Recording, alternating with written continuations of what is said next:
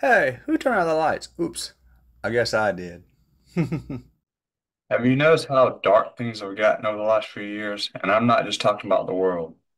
Let me explain a little bit more. Salt and light chase away the darkness and decay. When we become the salt, our light will shine before men. Go forth and let your light shine before men so that God might be glorified. As long as the church fails to be the salt and light, this world will never change. And that is an no-brainer.